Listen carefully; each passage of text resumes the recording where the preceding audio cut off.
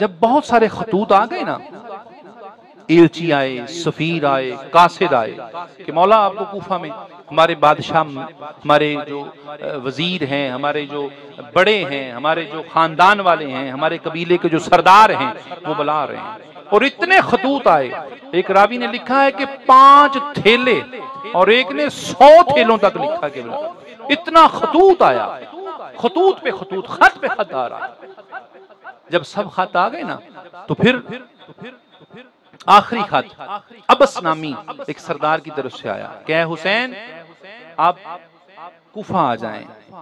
खेतियाँ पक गई हैं, बाग प्यार हैं। हम आपके लिए आपकी बारगाह में अपनी तलवार नियामों से बाहर लेके आपकी हिफाजत के लिए खड़े होंगे। हमारी जानों के नजराने आपके कदमों पे कुर्बान है। आप आ जाएँ। तो फिर जब ये मामला हुआ तो फिर मेरे हुसैन बादशाह सलाम ने अपने अहल खाना को बिठाया। मुतवसलीन साहब इक्राम, जो भी सब, आप साथ बैठे। पूछा, ये सारा मामला है। कासिद आ रहे हैं, एलची आ रहे हैं, खतूत आ रहे हैं। अब क्या होना चाहिए? तमाम साहबा ने, अहल खाना ने यही कहा, मौला बड़े जफाकार है। मौला आपके बाबा को धोखा दिया, आपके भाई हसन से बेवफाई की, मौला ना जाइए। लेकिन फिर खतूत आ रहे हैं, एलची आ रहे हैं, अभी ये आपकी निगोशिएट फैमिली से चल रही, खानदान से चल रही है अहले बैस से चल रही है। से खतूत आ रहे हैं। मौला आप अपने खानदान से मशवरा कर रहे हैं। पीछे से एलची आ रहे हैं सबीर आ रहे हैं। जब ये सब हो गया ना तो फिर और मनसब इमामत भी यही था कि मौला इनकार नहीं कर सकते थे। सिर्फ़ इस वजह से कि वहाँ शहादत होनी है। क्योंकि मनसब इमामत था। एक नवासा रसूल होने की ज़िम्मेदारी थी।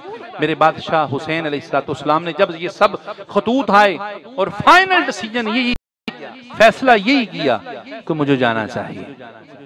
अब फैमिली बैठी, खानदान बैठा, अहल बैत के शहजादे बैठे। अर्ज़ की मौला फिर इस तरह कीजिए, अगर फैसला कर लिया तो फिर आप ना जाइए। पहले आप अपना सफीर भेजिए। फिर आप तशरीफ़ ले जाइए। अगर हालात साजगार हो तो आप चले जाइएगा।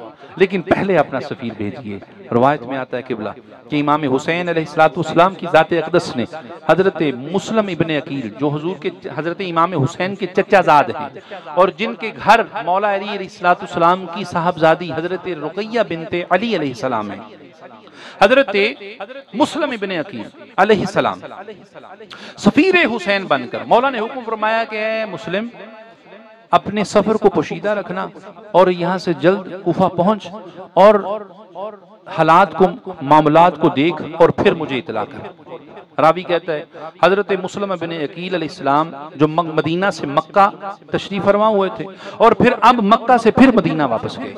रावी कहता है कि जाते ही हज़रत मुस्लिम बिन इस्लाम ने सरकार दोआलम की बारगाह में हाजिरी पेश की। दरुदसलाम हुआ नवाफल अदा किए।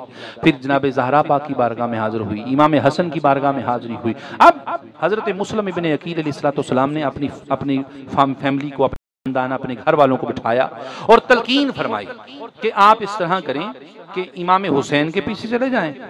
मैं यहाँ से कूफा सफ़ीर हुसैन बन के जा रहा हूँ।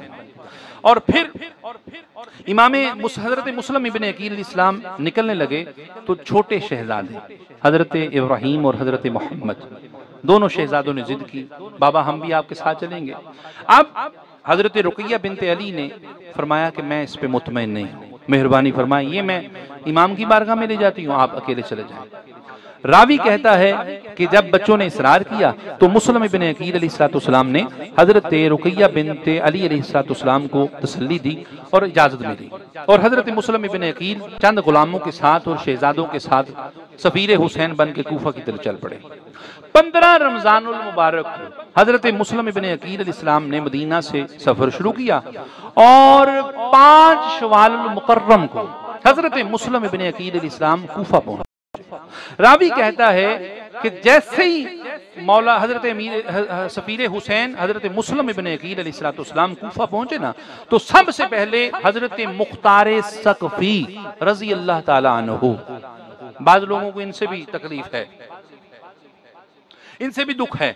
हज़रत मुख्तार सफ़ी रज़ी अल्लाह के घर में जाते ही आपने पना ली। पहले दिन, एक रवायत में, पहले दिन अठारह हज़ार अहल कूफा ने हज़रत मुस्लिम इबन अकील इस्लाम के हाथ पर बैत की। एक रवायत में पच्चीस हज़ार और एक रवायत में चालीस हज़ार इतने लोगों ने पहले दिन हज़रत मुस्लिम इबन अकील इस्लाम की बारगाह में बैत फरमाई। लोग जोक दर जोक आते, दूसरे शहरों से, दूसरे गाँवों से, दूसरे कस्बों से आते और हज़रत मुस्लिम इबन अकील इस्लाम की बारगाह में दस्तबोसी करते कदम बोसी करते और बैत करते। लेकिन रवायत में आता है, हज़रत मुस्लिम इबन अकील इस्लाम ने जब अहले कूफा का ये मामला देखा ना तो सरदार इकट्ठे हुए। अर्ज़ की कि ए सफ़ीर हुसैन, मेहरबानी फरमाइए। आप एक ख़त तसल्ली वाला लिख दीजिए कि हम यहाँ कूफा का मामला बिल्कुल ठीक है।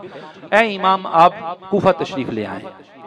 हज़रत मुस्लिम इबन अकील सलाम ने इन बेवफाओं की बातों में आकर एक ख़त लिखा। बिस्मिल्लाहिर्रहमानिर्रहीम। ए हुसैन इबन अली आप पर सलाम, आपकी जद पर सलाम। ए हुसैन अली इस्लाम आप जानते हैं कि मैंने अहल बैत होने के नाते आज तक झूठ नहीं बोला और ना अहल बैत झूठ बोलते हैं। मौला, मैंने यहाँ कूफा आकर सारे मामला देखे हैं। सब कुछ ठीक है, लिहाजा आप जल्द अज जल्द मक्का छोड़कर कूफा तशरीफ़ ले आए। इधर खत का पहुँचना था और हज़रत मुस्लिम बिन इस्लाम ने खत पहुँचाया। इमाम की बारगाह में इमाम ने खत तसली का पढ़ा। अब इधर से सफ़र शुरू इधर से तैयारियाँ शुरू हो गई। किबला रवायत में आता है कि अब तक जो कुफा के हालात बेहतर थे उसकी वजह यह थी कि वहाँ के जो गवर्नर थे हज़रत नौमान इबन बशीर रज़ी अल्लाह बहुत मुहिब अहल बैत था और बड़ा नेक और नेक सीरत इंसान था, बड़ा साले इंसान अब तक इसकी वजह से हालात बेहतर थे।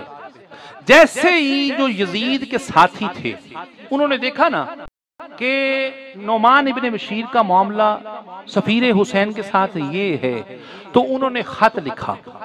यजीद इबन मुआविया को, कि ए यजीद बिन मुआविया, यहाँ पर नोमान इबन बशीर का मामला सफीर हुसैन के साथ बड़ा नरमी वाला है।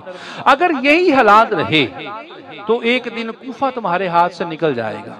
सबसे पहला खत लिखने वाला अब्दुल्ला हजरमी नामी शख्स था। इसने खत लिखा। इसी तरह दूसरे लोगों ने भी खतूत लिखा